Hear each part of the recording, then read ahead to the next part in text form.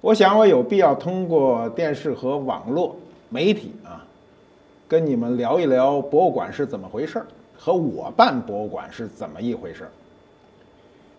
呃，博物馆这一词儿啊，我们今天说的博物馆是说中文啊，它的英文词儿呢，museum 呢，它最初起源于古希腊缪斯女神。古希腊缪斯女神她主管什么呢？主管文艺、音乐。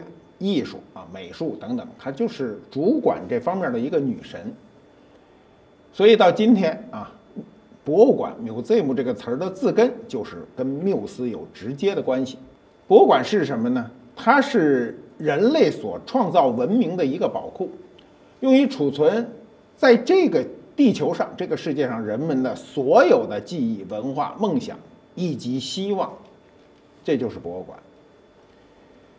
那么，博物馆什么时候有的呢？其实，博物馆现代意义的博物馆时间并不久啊，只有不到三百年的历史。但是历史上啊，我们的宗教场所，比如西方的教堂、东方的寺院呢，都储存了大量的艺术品。只不过这些地方不向公众去完全公开。那么，欧洲文艺复兴时期呢，欧洲的王室和贵族呢，开始这个在自己的这个王宫里啊、宫邸里啊，陈列自己的艺术珍品。当时的参观仅限于贵族之间的一个参观。那么，早期的博物馆呢，其实那时候还不叫博物馆。我们今天说的博物馆的概念是向公众开放的，个人的叫私藏。那么早期有这种博物馆的艺术呢，它只适适应于这个富裕人啊、富裕阶层之间。那么这里的博物馆不仅仅是我们人类创造的艺术品，还有一些珍稀物品，比如自然界的，比如海螺啊。那时候有很多内陆国家的人没有见过海螺，所以它还有海螺呀，有一些他没见过的东西，比如矿石啊等等。那么这些东西呢，在欧洲的贵族家里往往都有一个展陈柜啊，就是有头有脸的人啊，有社会地位的人呢，往往都有这样一个这个角落是收藏的角落。所以欧洲的博物馆就比我们早。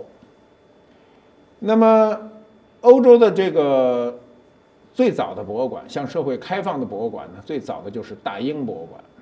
大英博物馆是一七五三年正式向社会开放，这是。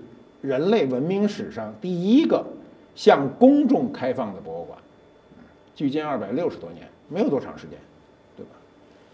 那么大英博物馆的所有的藏品啊，最初啊，就是建大英博物馆的动议呢，是斯隆医生个人的收藏，有多少件呢？八万件。八万件有什么概念？八万件什么概念？我告诉你，那概念我也不清，就是非常非常的多。他当时把他的终身的收藏，啊，以一种啊不计价钱的方式捐给了伦敦市政府，一件一块钱，啊，八万件八万块英镑啊，那时候英镑还是挺值钱的。那么他跟伦敦这个市政府达成的协议是什么呢？有利于文化的传播。所以啊，就因为这句话。就因为斯隆医生的这句话，到今天大英博物馆是免费的。在世界级的大博物馆里，只有两个博物馆是免费的，一个是大英博物馆，一个是美国华盛顿的史密森博物馆群。我们知道大英博物馆啊，这个你今天去一定是自由出入，但里头有很多很多这个展览你看不成，那个展览是要收费的。为什么要收费？因为门票是博物馆非常重要的一个来源。那么，美国的史密森博物馆群呢？我觉得一个人一生中啊，如果有机会去美国的话，一定想办法去华盛顿特区啊，一定要去看看史密森博物馆群。这是一个叫史密森的英国人捐捐献的。他当时呢，跟这个。美国政府达成的协议呢，也是有利于文化的传播。我们今天都觉得这有利于文化的传播这话太空泛呀。他们当时有具体的条款啊，比如这个博物馆必须是免费的只要免费了，就有利于文化的传播。所以今天啊，世界级的大博物馆群，你去美国华盛顿，你什么钱都得花，交通费、住宿费、吃饭费你都得花，但你去看博物馆不用花钱。史密森这个人有意思啊，当年他捐献这个博物馆的时候呢，他就说啊，我为什么要捐献这个博物馆给美国呢？我作为一个英国人，就是因为我觉得你们美国太土了。土的掉渣儿，说你们光顾了发财了，光顾了去挣钱了，但你没有文化。我们都很清楚啊，美国是个非常年轻的国家，只有二百多年的历史，在它历史上都是一些印第安人脑袋上插着这种各种羽毛的人那晃动着啊，它文化积累特别少，所以史密森本人呢就是说，只要你们愿意啊接受我的条件，我就把这些东西捐给你，改造你们。那么今天史密森博物馆群是世界上最大的博物馆群，就源于史密森本人的捐赠。但有一个很神奇的事儿啊，就是史密森本人终身没有踏上美国国土，就是他把这么大的一个博物馆捐给了美国政府，他都没去过美国，这一点就让我非常感动啊。我们今天。都希望自己站得高一点，看得远一点，心胸开阔一点，但我们做不到史密森这个程度，真的做不到。为什么做不到呢？就是我们心胸格局不够大。你比如我，你让我把博物馆捐出来变成社会公物，我可以接受这种现代化的理念，但你让我今天把这博物馆捐到非洲去。啊，捐到非洲一个非常偏远、穷困的地方去，我觉得我自己做不到，但史密森在一百多年前就做到了。那么我们什么时候才开始有博物馆的呢？中国第一个做博物馆的人叫张謇，清末的状元，他是南通人啊，同时是工商业的领袖啊，纺织大王。我们今天到南通去，南通纺织业依然发达，跟。张謇本人当年的这个在工商业中的地位是有直接关系的。我们知道清末啊，这个同光中兴的时候，中国的经济呢有一次腾飞。如果不是因为后来民国成立后，中国陷入混乱，中国的这个工商业的发展到今天不可限量。那么张謇这个人呢，有文化啊，因为他是个清末状元嘛。啊，他就下决心做了中国的第一家博物馆。这是什么时候呢？一九零五年，光绪末年。这个博物馆今天叫南通博物院。可惜啊，这个到今天已经一百一十一年了。这一百一十一年以来，南通博物院没有持续发展，中间有一段间断了，变成了南通公园。我年轻的时候还专门去。拜访过这个地方，我跟朝圣一样的去拜访张謇做的南通博物院。为什么？那是中国人第一次能够把艺术这件事儿向公众公开的表达。在这之后的二十年，故宫博物院才成立。一九二五年，啊，一九二五年距离今年啊。呃九十一年，那这么说呢？我们的这个故宫博物院还不足百年。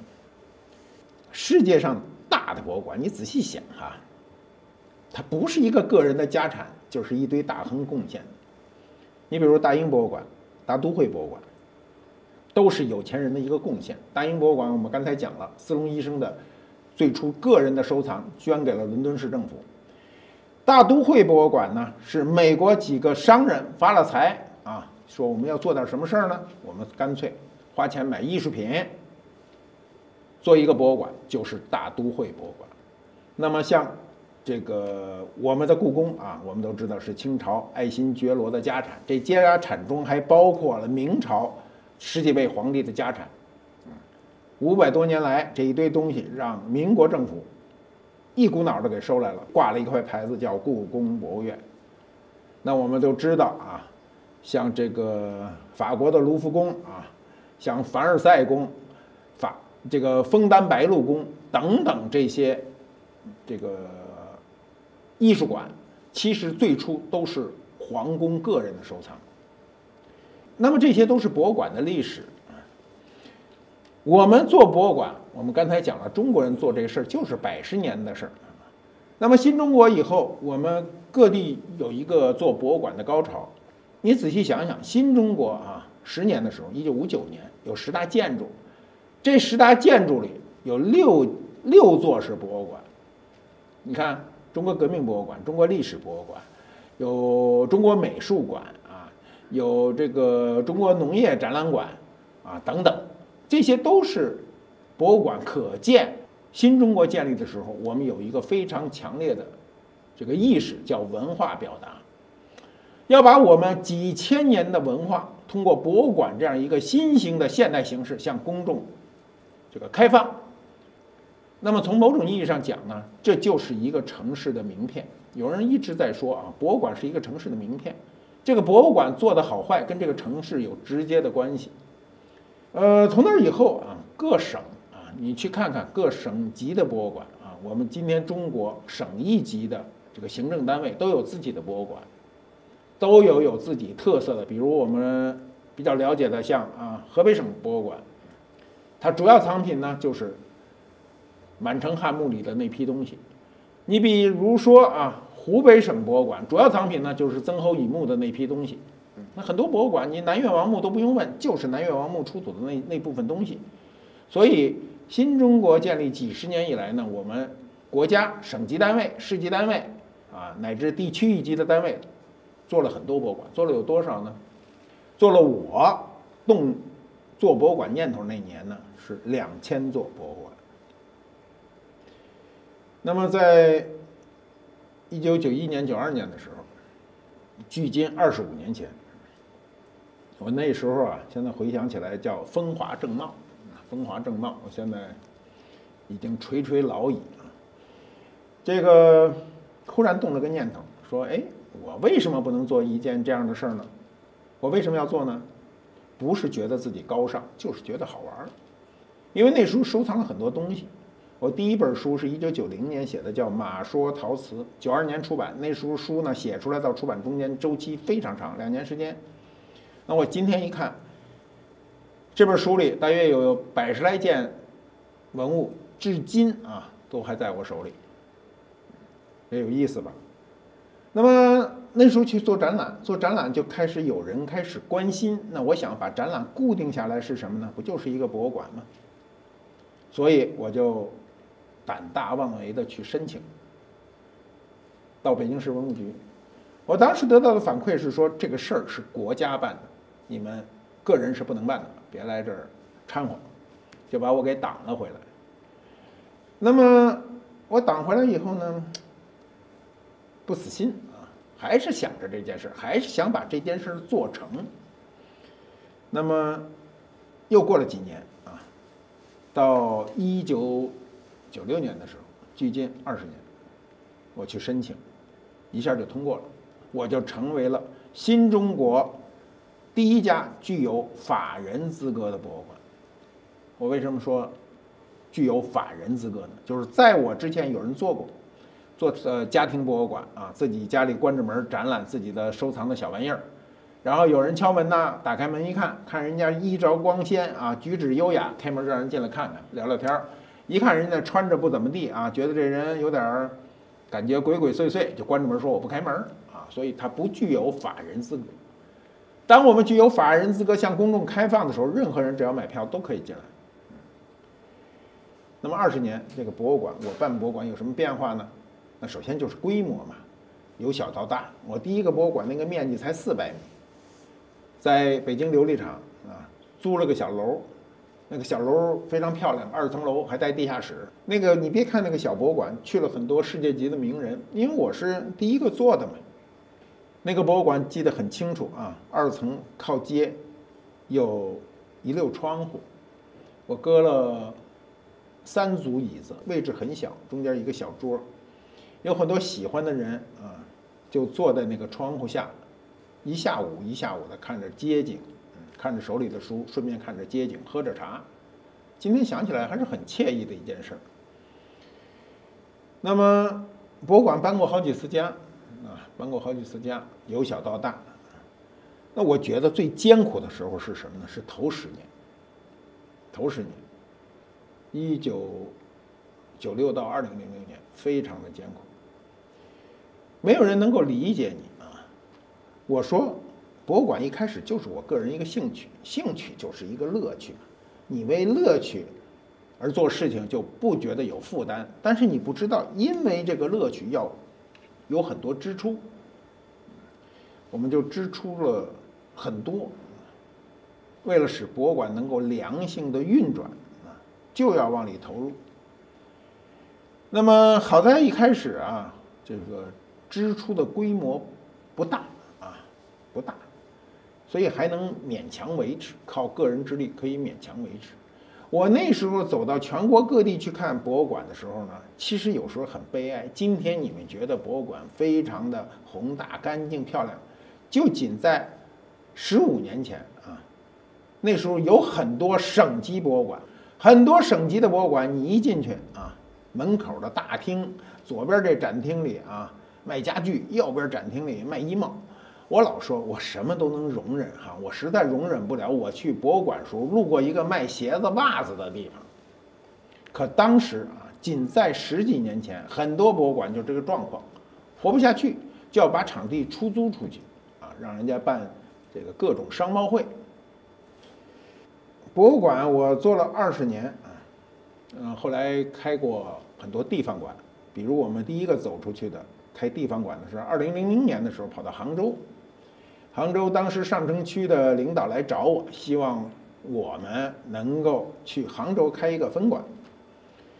当时杭州有一条街叫河坊街，今天已经热闹非凡，当时非常的冷清啊，把我叫去看现场，说我们的规划是如此如此，我确实觉得规划不错，所以脑袋一热啊就去了。去了以后呢？他们给的我地方，我到今天仍然觉得他给我的那块位置非常好。门脸很小很小，就一个门宽，有一个狭长的走廊，进去拐两道弯儿以后呢，就进入了这个展区。展区变得非常大，将近千米。当时他们领导哥劝我说：“你不如把这块地方买下来，啊，买下来呢，就永久的变成博物馆。”我当时呢。目光就只有这么长，短浅。我当时认为有这些钱，不如去买文物，干嘛去要买这个房子呢？所以就没买。等我想动心买这房子的时候，这房子我就买不起了。最初那房子非常的便宜，让今天的人听起来都不叫管你要钱。那么在那儿坚持了十年以后呢，由于时局的改变，我们就没法在那儿坚持下去，我们就撤了出来。我们在二零。零四年的时候，还跑到了厦门，厦门的鼓浪屿，厦门的鼓浪屿上有个梳妆花园我们在梳妆花园上做了一个博物馆，今天还在那儿生存，那是我最喜欢的地方。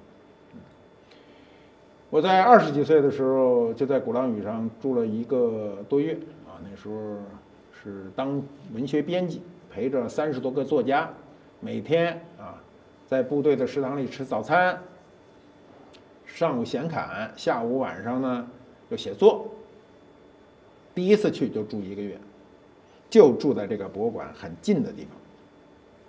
所以，当这个厦门政府把这个地方给我的时候，哎，我从心里就觉得是一种缘分。这个建筑很小不大，但是位置很好，一进梳妆花园，右手啊，出了博物馆就是大海。摆上几只椅子，坐上一天都觉得非常的惬意。那厦门观复博物馆呢，也存在十年以上了啊。我们这个经常啊要换展，每年都有新的展览。它虽然小，就是应了过去的一句话，叫“麻雀虽小，五脏俱全”。这个博物馆很小，但它功能很齐全，它接待的游客数量非常大，最高的时候一年达到百万。那它对于我们博物馆来说呢，它的无形的资产的贡献就巨大。我后来就想啊，就是博物馆怎么能更好的生存呢？叫利用品牌的输出。所以脑子一热，就觉得我们应该把博物馆做成啊连锁式的，在全国各各地有条件的地方都做好一个观复博物馆。如果当你做了十家的时候，你的博物馆的无形资产，你的这个价值就会变得巨大，你的生存就会变得容易。我就朝这个方向去走。机遇来了，上海。上海建造了一个中国最高楼，这个楼呢叫上海中心大厦，它有多高呢？六百三十二米。这么大体量的一个楼，它一定要变成一个社区，变成一个城镇的概念，所以它需要一个博物馆。那么机遇就找到了我们。其实谈判的过程并不复杂，做了多少年呢？五年。说的容易，做的很难。当这个博物馆开放的时候，很多人都问我说：“哎，那么快就做好了？”我说：“这个事儿已经做五年了，从谈起都六年了。”在这座楼盖到一半的时候，我就不停的登顶，一次一次的登顶，大概前前后后有几十次进入工地，去看这个博物馆的设计和它的未来。那么博物馆是不是越做越好呢？对于我们来说，我们是有切身的感受。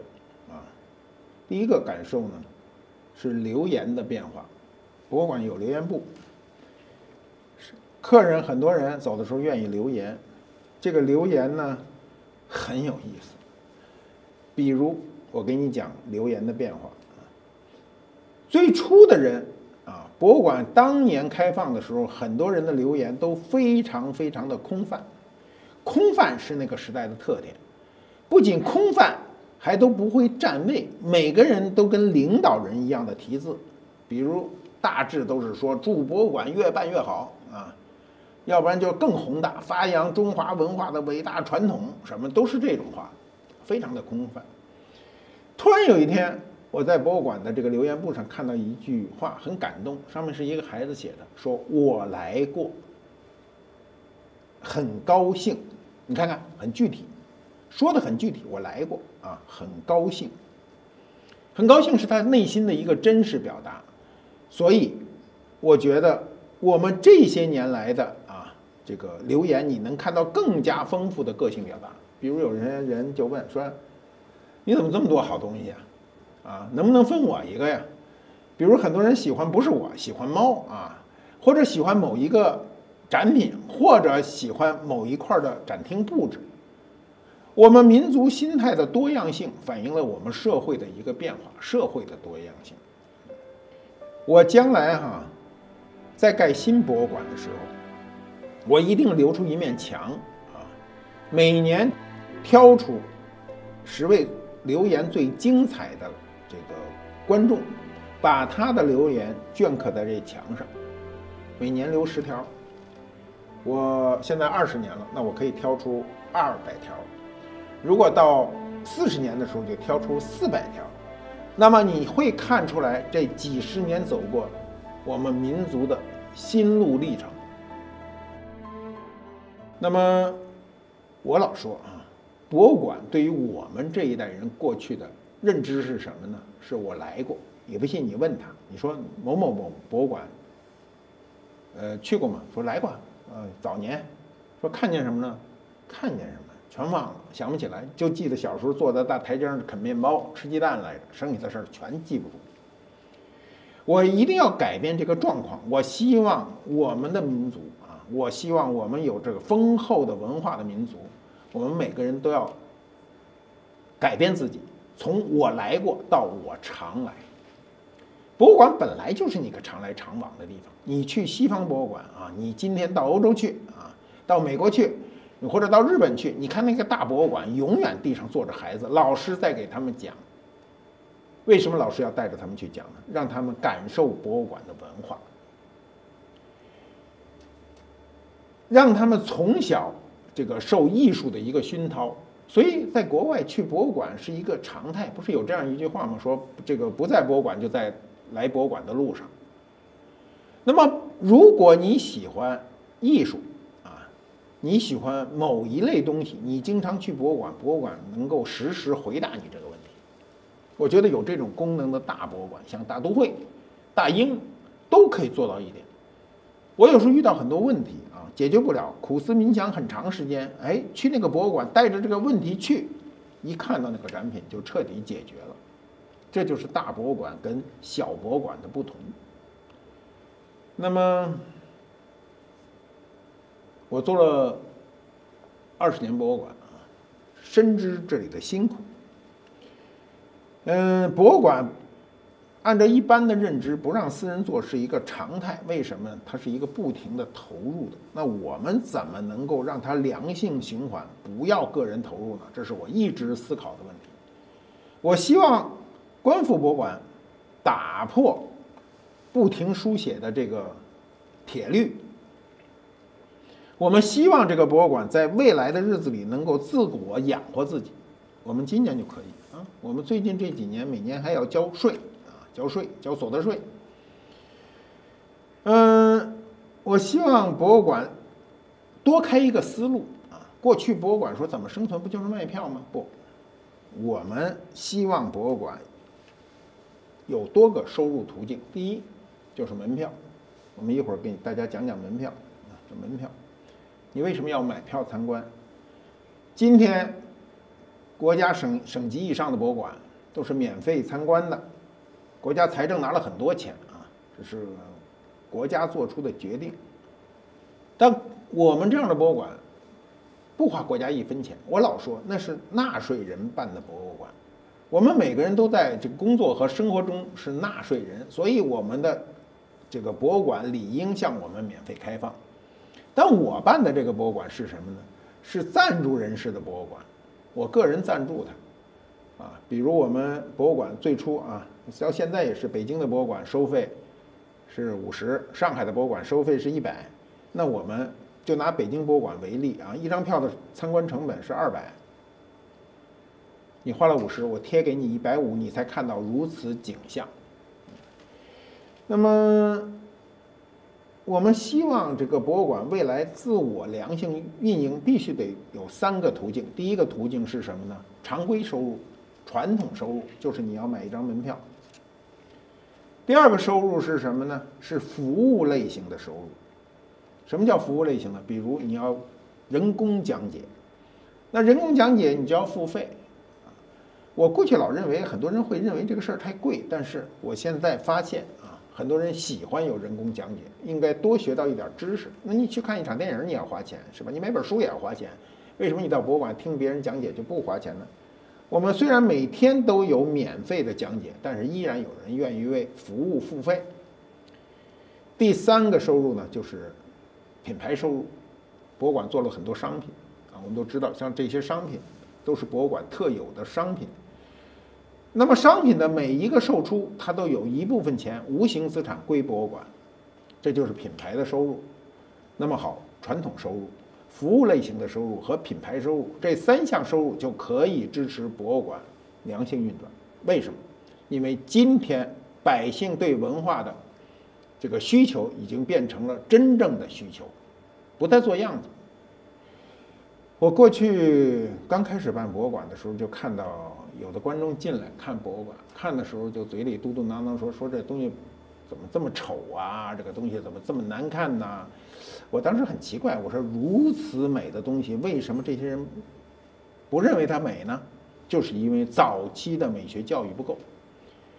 我们至今啊，学校里的美学教育，从小学、中学到大学，美学的教育都是不够的，没有这个形成到博物馆是你教育中的一个常规。我们今天啊，学校组织去博物馆都算一种额外的奖励。都是一个额外的待遇，好像跟春游一样。其实西方人认为，博物馆的长期的教育、潜移默化的教育，对你一生的审美和知识的积累都是有极大的好处的。我做博物馆那年啊，批下来那年我四十一，今年六十一啊，我认为是人生中最好的二十年。